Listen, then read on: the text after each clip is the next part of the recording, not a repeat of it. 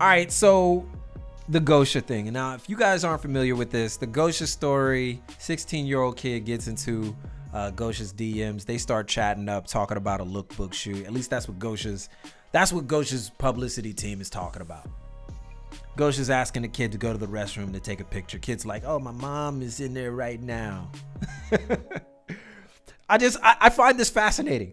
It's like, yo, my mom is in there right now, so I can't really go into the restroom. And then goes just like, oh, I'm pretty sure your mom won't go into the restroom with you. Blah blah blah. You can go ahead and read the whole statement on uh, Diet Prada. The you know the responses on on Hypebeast and Highsnobiety everywhere, and the all the stuff is on Diet Prada. You could see this exchange. Gosha's team is talking about how, you know, it was not how it seemed. A lot of the messages were deleted to make it seem weird, but it wasn't like that that's good and all. I can I can understand that. Uh, what I don't understand is why why it went that far. and and how is this a referendum on where we should be headed in 2019?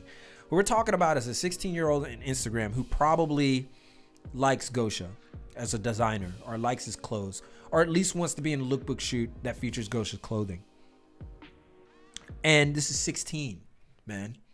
These 16, impressionable, and, and and let's be real, the fashion industry is well documented for taking young impressionable people and putting them in front of a camera and saying, "Hey, if you want to be a part of this, you're gonna have to take a picture in the bathroom, right?" So we know that this has been happening for a long time, but it's the first time. It's one of the first times that we get to see it in plain view, and that's not to say that Gosha was completely, I mean, blindsided by this.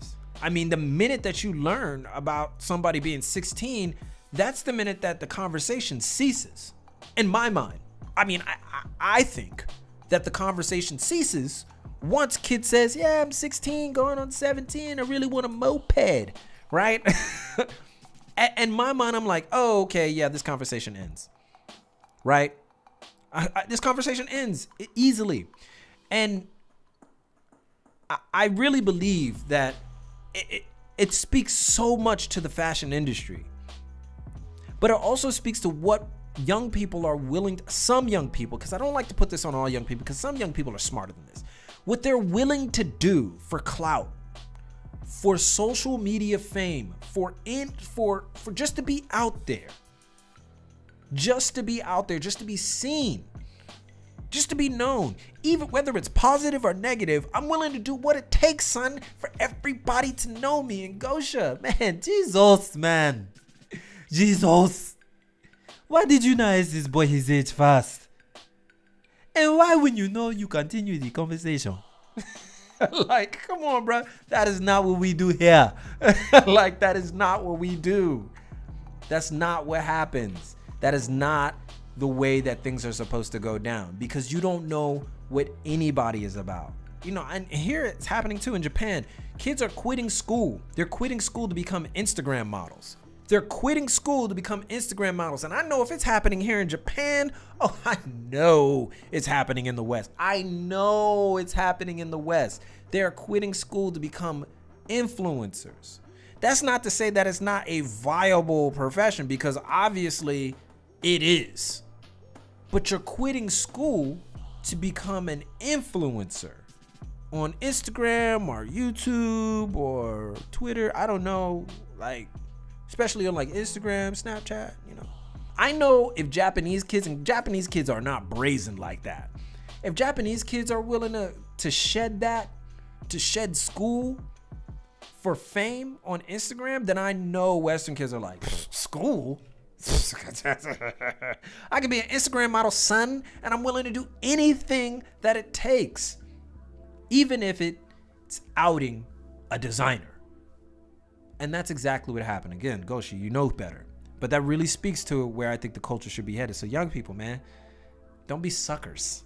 Like, seriously, man, like, it's sad. It's sad to see something like this happen because I know that coming from LA, this is part of the course, man. Hollywood, if you you you know if you've been to LA, you live in LA, you're from LA, you you from that area, you know this is happening all the time. This is not nothing new. All right? This is not anything new.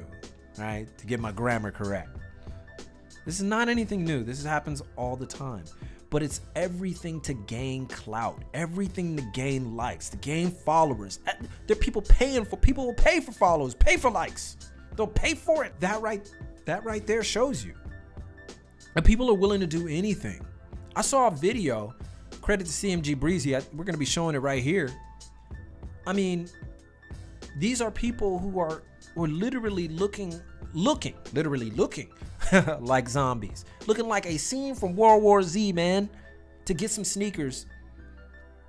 To get some sneakers. I mean, there's really no other statement that I can put behind that except to get sneakers for the clout, for the likes, to resell. The culture has been completely watered down to hyper consumerism. And I and going into 2019, I would love to see us move away from that. A move away from clout chasing and move away from hyper consumerism. I would really love it. And you know what? There's a lot of people who are there's a lot of young people who are moving away from it who are like, yeah, you know what? Yeah. I'm tired of taking the L. And a lot of it is just due to the fact that they can't get anything. I'm tired of taking the L. I'm tired of, you know, people making fun of me because I'm wearing the, the same thing as everybody else or or I'm in this line. I'm tired of, you know, old heads thinking that I'm I just wear Supreme or I, I'm not about anything. I'm not about this fashion thing. I want to know more. Right? I want to graduate from this. I want to I want to change. Because let's be real. The people who really control the narrative it's not the young people. It may seem that way. The young people con- like control the fashion narrative, the street fashion narrative. That's not true. It's people like myself, right? We control the narrative because what we're doing is we're giving the content out there and we're giving our take on it. That's not to say that I'm the biggest one that does it. Of course, you have other people out there that have their take on it that are much bigger than the casuals, right? You have your Magnuses, you have Jacob Wallace, you have all these guys out there you know, who control the narrative, who tell you, like, oh, this, this, that, and this, or this, is that, and this. Shout out to my boy Alex Valos. I do that on purpose, man. I'm just messing with you, right? Who they have a narrative, right? And they want to show you that narrative. It's people like myself, people who are, uh, you know, the guys that on, at Highsnobiety and high Hypebeast and Complex. They control the narrative, so you're listening to them yeah, you guys may wear the clothes, but we're the ones that are saying, hey, X is good. X is, listen, I'm, we're in Japan. The casuals in Japan, right? The whole organization is run through Japan. And I'm sitting here telling you about Japanese brands. Oh, this brand right here you need to get into. This brand right here you need to get into. Yes, we control the narrative. And it, we and but at the same time, we don't control the hype. We don't control what's going to be hot and what's not. Sometimes we can, right? Sometimes we can. We have the ability to do so, but we have to follow where, you know, where the water kind of takes us. We have to follow that. We have to we have to sit there and we have to be like, okay, can we make content on this or we can make, make content on that? And I would love for us to be a little bit more diverse in those opinions. Listen, the casual has not strayed away from Japan in general. We like we like the fact that we can talk about Japanese fashion as, much as we can talk about international fashion. And that's where I think I personally think that we should be headed in terms of the culture itself to become more international, to become more cultured, to become less driven by clout, less driven by what's hot or what we want to be hot or or you know creating this narrative like yo you need to get these sneakers. And and all of us every single last one of us who is on YouTube, we know those releases. At least if you're in the sneaker if you're in the sneaker world, we know we have to cover those stories. We know we have to cover them in our way, but we know we have to cover them.